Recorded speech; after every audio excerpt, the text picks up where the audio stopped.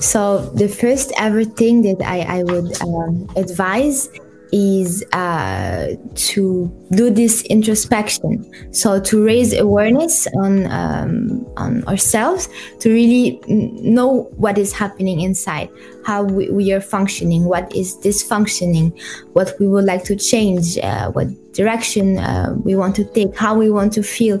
So it's really like to to do a quick uh, analysis quick or not quick but to really be able to connect with yourself and be aware okay of what is happening Welcome back to another episode of Your Visionary Podcast. Your Visionary Podcast. Your Visionary Podcast. Your Visionary Podcast. Visionary Podcast. Welcome to Your Visionary Podcast. This podcast is specifically for you and your vision. Get ready to grow. Let's go. Hey everyone, welcome back to your Visionary Podcast. I'm your host, Christian Brown, and today I have another exciting episode for you. We will be hearing from Dina Kassab, who is a integrative clinical psychologist based in Paris, France. And so it'll be a very exciting and a very inf- informal um, interview. So I'm excited for it. But before we get into that, I want to remind you that your Visionary Podcast is all about um, putting out informational content from um, interesting individuals with the goal of helping you get closer to the vision that you've created for your life. And if you don't have a vision for your life, this is the podcast to help you create a vision to be um, to become the person that you would like to be right now and in the future. So without further ado, I want to bring on our guest, Dina Kassab. How are you, Dina? Hi, Christian. I'm great. Thank you for inviting me. Yeah, no problem. Thank you for taking the time to join me on this. Um, and so let's let's get right into the content. Um, so let the audience know, you know, how you got to be where you are now. Sure. So, like you said it, I am an integrative clinical psychologist. Uh, so, I am born and raised uh, in in Paris, uh, and I did all my studies there. I did also uh, another master of business psychology uh, uh, and coaching in Dubai from the University Heriot Watt, and I founded also an organization for young people two years ago that uh, aims to raise awareness um, for young people on mental health. And we also did some free psychological support for some time, but now we, we stopped it. So yeah, the, the whole point is to really help the, the young people to know more about mental health and to have some accessible content. Um, and now I am currently working um, in a mental health uh, at work company in Paris since April. Um, and I am expanding also my uh, independent activity as a psychologist.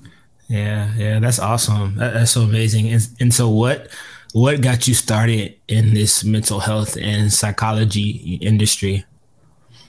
Okay, so since a young age, um, I always believe that um, being good in our mind is really the foundation of a healthy life, even though we, we have everything uh, uh, accessible and we have a lot of luck and we can travel and have some uh, amazing material.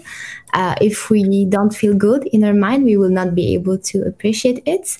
Um, and I also naturally um, always love to connect with people, know more about. Um, human being how they function and also how to help them uh, function better um, so I uh, quickly um, found out that okay, this is the only thing I can do. I want to be a psychologist.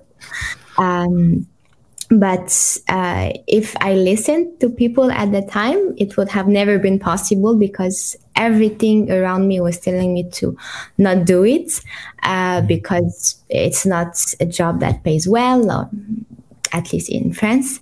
Uh, it's uh, at the time there was not much opportunities.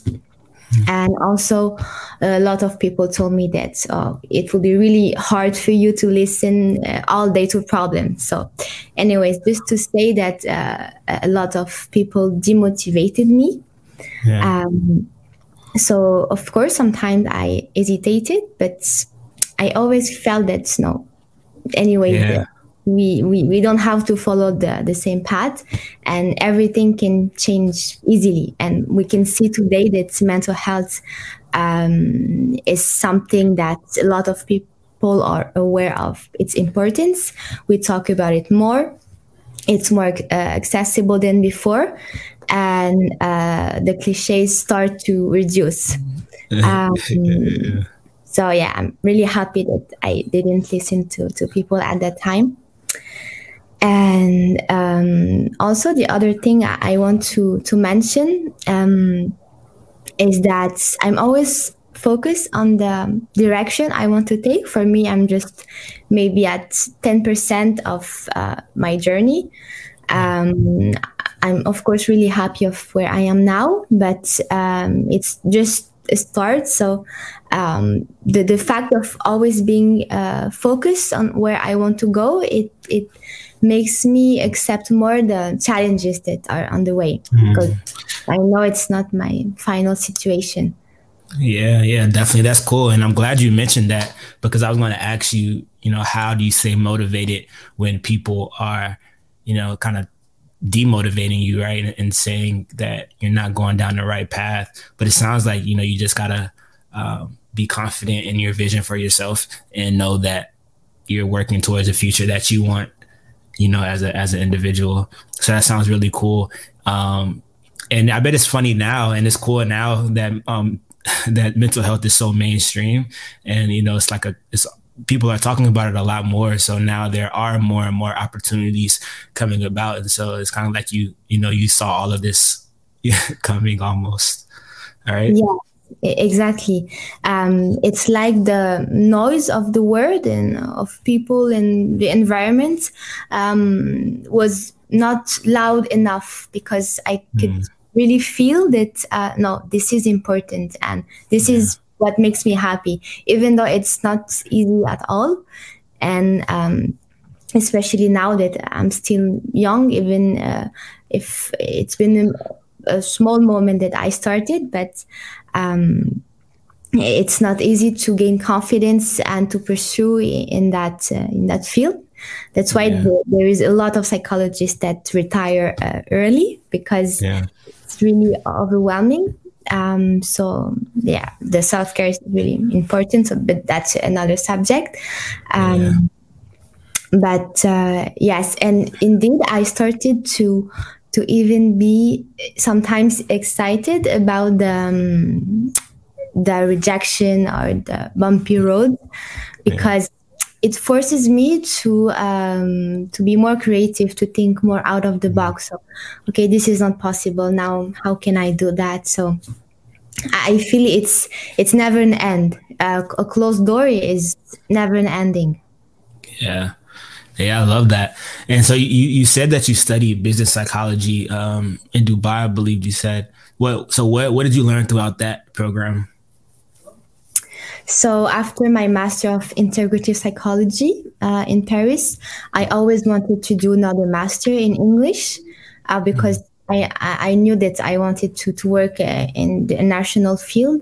Um, so I wanted first to go to London to study positive psychology and something also uh, around coaching. Um, so I did again some research and I found this master that um, brings knowledge about business psychology and also some, some things about coaching.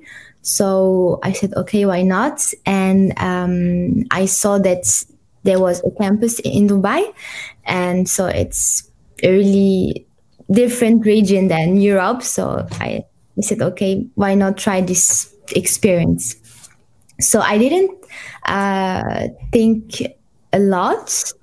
Um, I'm really not impulsive, but really spontaneous. So sometimes when I want to do something, I will be excited and okay, try. If it works, it's fine. If not, it means it's not the right door, or I will learn something of it.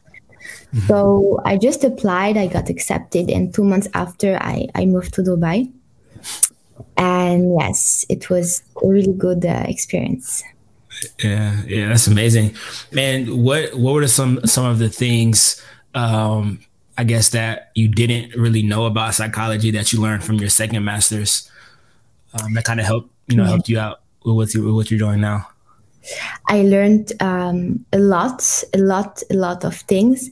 And at this time, I just started a nonprofit organization.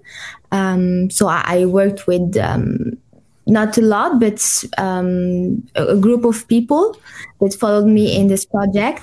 So um, I really um, gained a lot of knowledge on how running a project or a business. And I really understood that running a business or a project is not only about technical competence or having an idea, but a lot of um, human qualities and skills are needed uh, because even though you, you have a great mind, you're intelligent and you have some amazing ideas, um, if you're not able to gather people, to motivate people, and to make them feel good, they will not stay long next to you. And you can't do anything alone. So, um, knowing about business psychology on how to have a powerful leadership um, and indeed the, the the course i love the most was authentic leadership. It's from bill george. He initiated initiated that in 2003 um, and the whole point of it uh, there is five uh, qualities or skills that he describes and um, it says that first of all you, you have to have a purpose a passion. If you're passionate and if you really love what you're doing and you know why you're doing what you're doing you will be able to uh, motivate people and share them your excitement for your work. Uh, the second aspect is um, rela- relationship sorry. Uh, yeah no sorry it's distinct values. Uh, if you stay close to your values uh, if you don't break them for anything uh, people will respect you and will trust you. And this often manifests in the policy of the company. Um, so the third point is relationship. If you care about people if you're interesting uh, interested in them if you ask them question if you make them feel that they're close to you same thing. They, they will feel more connected and they will trust you and they will want to to to stick um, with you. Uh, then it is the sense of um, goals and and discipline. Um, yeah, if you know how to stay calm and uh, and disciplines in in times of stress, uh, same thing. You will be able to to manage better uh, project. Um, and last thing, just to be quick, uh, it's to have a genuine heart, um, to uh, really be uh, authentic. So that's really the, the main idea yeah. to to show compassion, to to to to, to care uh, once again, um, and that will really be shared with the employees. So yeah, yeah, really. That's, yeah, that, that's super cool. I um yeah, I'm definitely gonna dive deeper into that because um, I, I think that's important. You know, when it comes to being being an entrepreneur and also being a leader, um, knowing just how to do that authentically. Um, mm you know so yeah i'm definitely gonna definitely gonna uh, dive deeper and, and, do more research on that. So thank you thank you for sharing that.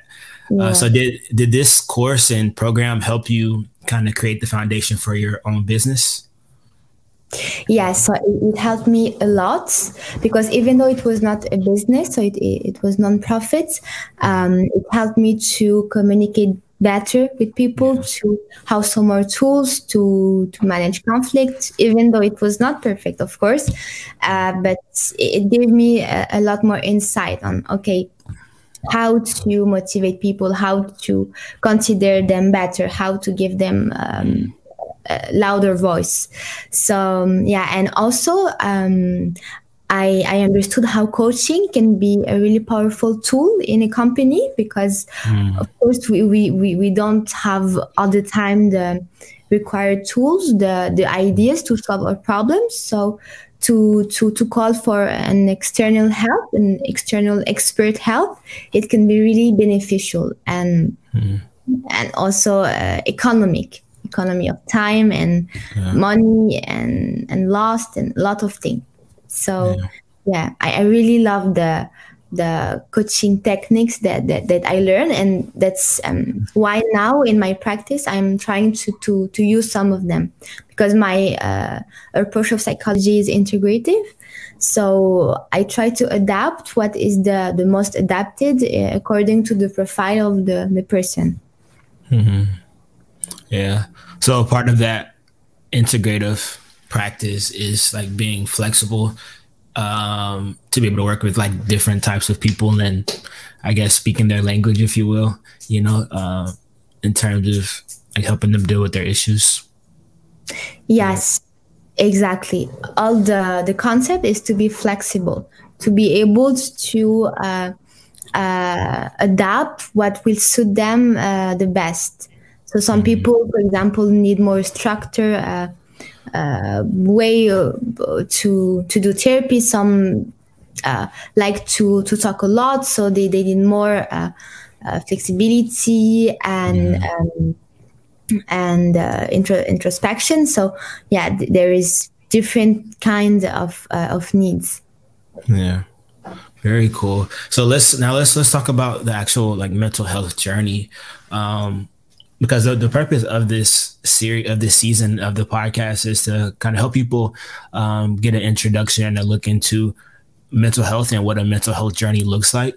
Um, so, what advice would you give to someone who is interested in in starting their own mental health journey? So, the first ever thing that I, I would um, advise is uh, to to do this introspection. So to raise awareness on um, on ourselves, to really know what is happening inside, how we, we are functioning, what is dysfunctioning, what we would like to change, uh, what direction uh, we want to take, how we want to feel. Sorry to interrupt this podcast. I hope you're enjoying it so far. I want to take a quick moment to tell you about our presenting sponsor, Blimish. Blimish is a tech startup founded in Atlanta and being built in Paris. The one goal of Blimish is to build imperfect people for a better tomorrow. To learn more about how Blimish accomplishes this goal, visit blimish.com. That's B L I M I S H.com. If you enjoy hearing from psychologists and learning about the science of the mind, visit blimish.com. If you're ready to start your own mental health journey, or you want to get more information about how to do it, visit blimish.com. If you value personal growth and obtaining information to help you reach your higher self, support our presenting sponsor and visit blimish.com. Enjoy the rest of the podcast.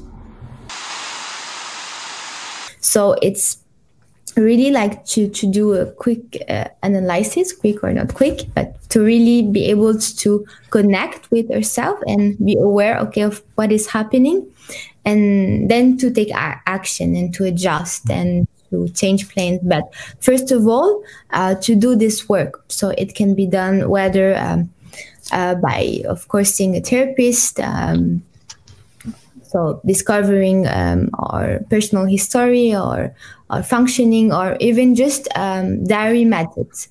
And this can be um, quite beneficial because uh, nothing is engaged. You are just with yourself. You're just whether writing your thoughts or talking your thoughts.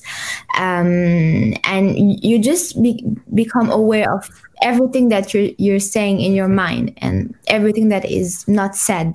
Because when it's in, in the mind, that's um, that's when it's dangerous because it can get messy, it can get confused, get uh, um, mixed up in really wrong ways. But when it's in front of us, when it's clear, when we know what is happening, okay, it can't play us in an unconscious way. Um, so yeah, to really start a mental health journey, I will really advise to to start by that. And mm. if those both uh, options um, are not uh, suitable even just talking with someone you trust someone you know that won't judge you and is uh, open-minded and mature enough to, to hear uh, everything that you can say so a safe place where you can just um, be confronted to yourself like a mirror because it's clear that a therapist is like a mirror. Yeah. Yeah. That's so cool and i love that you use the word introspection. Like that's that's one of my favorite words. Um because that's something that i that i do personally you know whenever i um whenever i am looking to like take a, a new step or go in a new direction I always um, you know, just look look inside to to ask myself like, what do I want? Um, you know, how do I want it? Uh, what is the result that I'm that I'm seeking? Uh, how do I feel? You know, all those different things, and, and, that's just super important. So I love that you that you mentioned introspection because I'm sure I've said that word a bunch of times on, on this podcast. So it's very mm-hmm. very cool. Um, and if I can add also, sorry, so, yeah, something. It's not. Uh, something that can be done just at the beginning. Like you said, it, it has to be done all the time at any step because it's really easy to to, to get uh, confused at any time because when there is stress, when there's a lot of emotions, it got it, gets um, uh, messy again. So to really have this habit of okay, asking questions to ourselves. Yeah. Yeah, I love that. And um, I'm, I'm curious because I I had this idea of you know like helping people find peace in mental health, but as I started to like have these conversations, um, I learned that the word peace there's not just like one meaning to it. So I'm curious to know like what what does peace um, peace in mental health like mean to you? Um, so to me, peace is not what is supposed to make you feel good, but what is really making you feel good or peaceful, if that's um, the word we, we are talking about. Um, because we can hear um, a lot that to, to feel peaceful we have to do meditation to do yoga to have a healthy lifestyle or anyways there's a lot of um, yeah. uh, suggestions and advices to, to, to have a good mental health and me what i defend the most even if it seems logical but it can uh, uh, be confusing sometimes when we start to be interested in, in mental health is that there is nothing that is supposed to, to to to make us feel good. It has to be felt. It has to to be mm-hmm. experienced. If for example uh, what is making me feel good is just to to do a walk in nature and be disconnected and really have this calm in my mind. Okay so for me that's peace. So mm. to answer your question there is as much definition of peace than there is uh, human beings. So my peace will be different than your peace yeah, yeah, exactly. No, I, I agree, and that's kind of why I, I asked. I want to just hear your perspective, um, just out of curiosity, um, and that's super cool. You know, like the the idea of it being something that you feel, um, and something that like makes you feel good. Because what makes like me feel good is not what makes you feel good, right? But I think just for people even th- asking that asking themselves that question and doing that type of introspection, like you know what what makes me feel good. I think that's a positive thing that people could take away as something that they can do you know even right now you know? Mm, yes. So, so, that's very cool. Um, and, and, now i want to talk about um, intuition because that's i know that's one of the things that you know you you feel passionate about right? Just like the whole this whole idea of following your intuition and um, and, and stuff like that. So so what does that mean to you? Um, so again, in the same idea that we just discussed now, uh, intuition. I, I always have some difficulty to say this word. Um, is uh, something that uh, we feel and not that it must be really felt deeply in the body. Uh, and um, something that is like sending us some signals but so again mm. not from here not from this part but really um, something instinctive. It's like, for example, when we are hungry, um, we will feel uh, that we want to eat, that we need to eat, and that's a kind of intuition. So uh, it's something really, um, really deep, and uh, even that could be compared to a need. For example, if mm-hmm. I talk again about my story, I know that I needed to study psychology because it's yeah. um, something that uh, brings me satisfaction. It satisfies uh, a need, and so that's how I, I, I would compare, uh, for example, intuition than uh, any rational thought. For example, yeah. something really instinctive. Mm. And yeah, and, and to do that, it's um, important to la- to lower the the noise of the word because it can be really confusing and when we don't know well ourselves when um, we don't have confidence what we think what we can feel. Uh, this no- noise of the word can distract ourselves from this intuition. So um, this work of introspection and of knowing better ourselves really help to connect more with it. Because yeah. when we know ourselves our values what we like what we don't like it will be more recognize, uh, easy to to recognize that. Yeah yeah that's so cool. And it makes me think of this quote. I forgot who said it but the quote is that the the desires of our heart give us a hint as to what we were put on this earth to do. Um, and and that kind of speaks to like intuition too and kind of just this whole topic of what we're talking about you know how um how you know what makes you feel good is is important to to recognize. Um but I, am curious do you feel like intuition and like gut feeling uh you feel like that that's like the same thing What would you say um um I would. You're asking if it's on the same level. If um. Mm-hmm. Yeah, I'm asking if it's on the same level because just to give you some context, right? Because I was talking to a friend of mine uh, maybe yesterday, and we were talking about like a certain topic, and I was asking him, like, what what is your gut telling you? What is your gut feeling about this? And he was like, I don't know. I need to I need to think about that. And then in my mind, I'm like, you know, a gut feeling is it should be something that's already there, something that's present versus something that you have to really internalize and think about. But maybe that's not true. What do you think? Yes. So I would say that it's kind of the same thing because yeah. the intuition also is something you feel and we say that the gut is the second brain.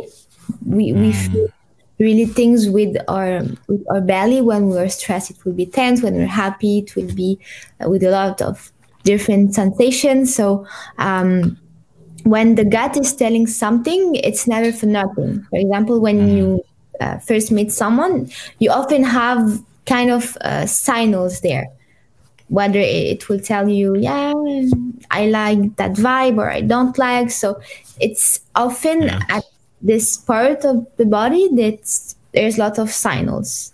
Mm. So it's just my opinion, but I, feel that uh, it's kind of the same.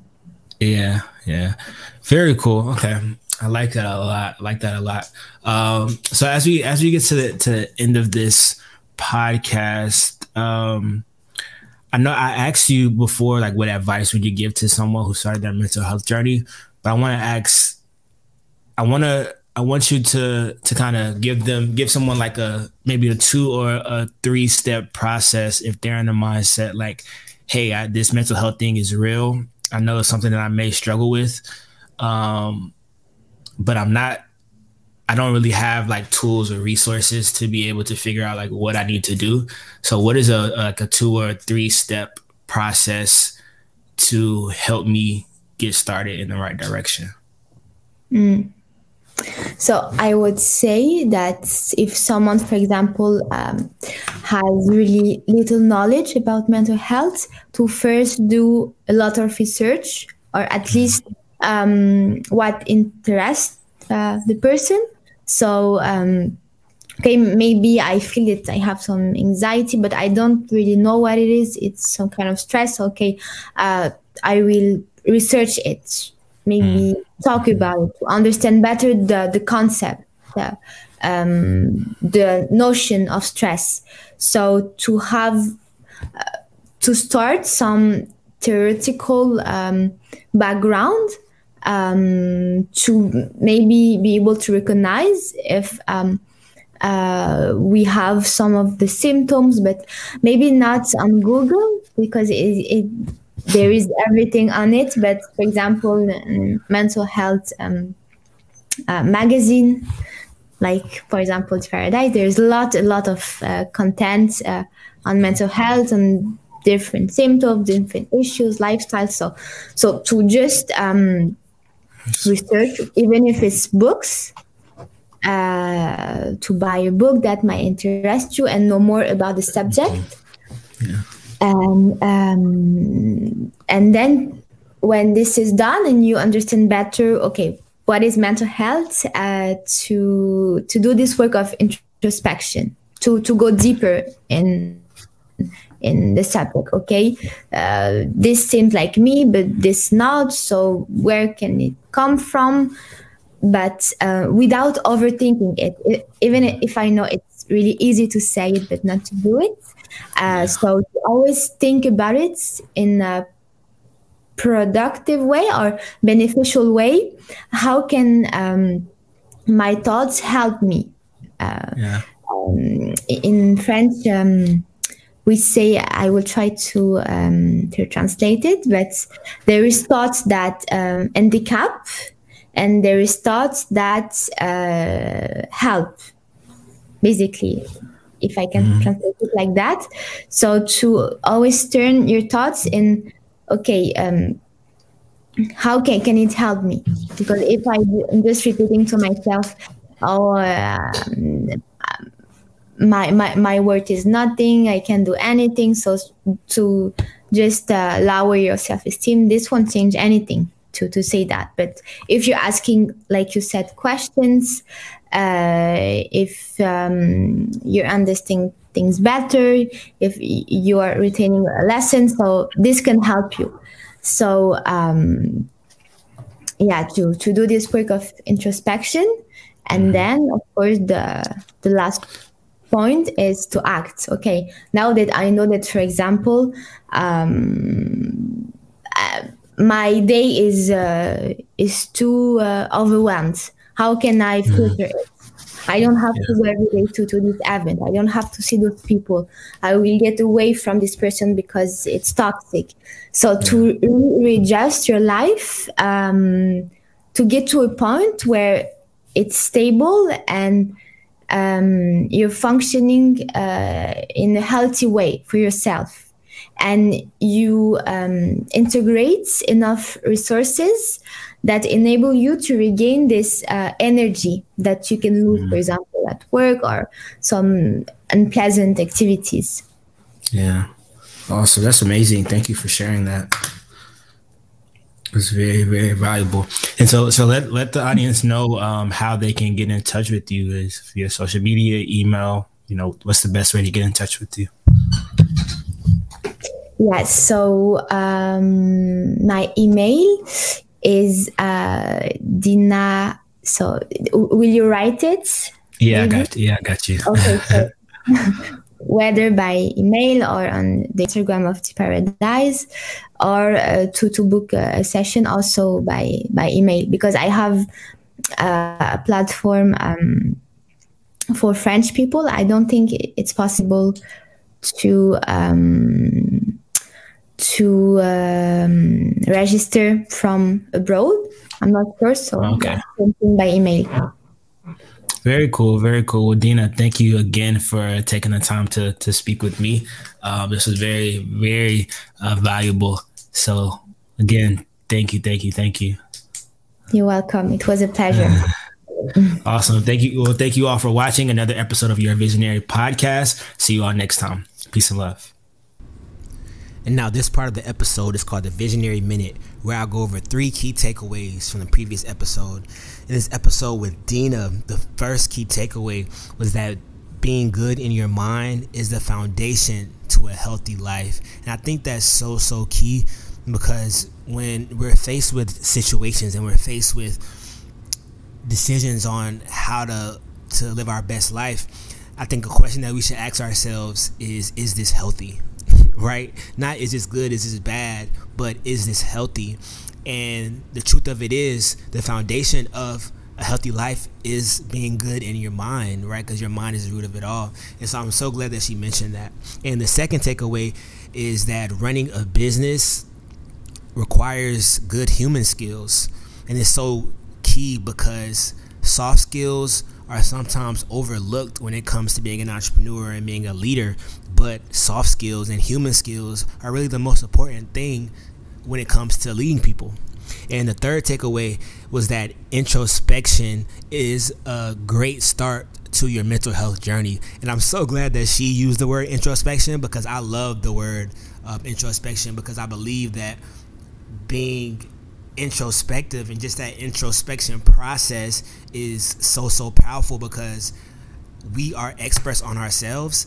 And so it's important for us to really analyze what's going on in our minds and in our bodies to really get a good gauge on our state.